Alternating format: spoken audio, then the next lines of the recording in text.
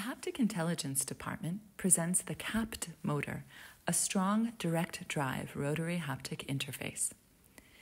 It consists of a rotor with a 60 magnet Halbach ring that faces a stator with a 24 Lorentz coil array connected to form two phases.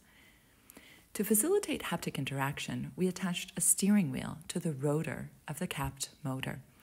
Its angular position is measured with an encoder, and two analog current commands are generated to produce the desired torque output.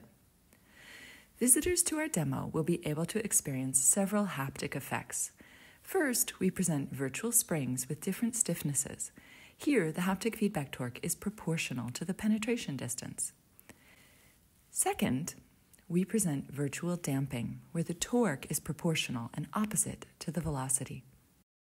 We look forward to your visit.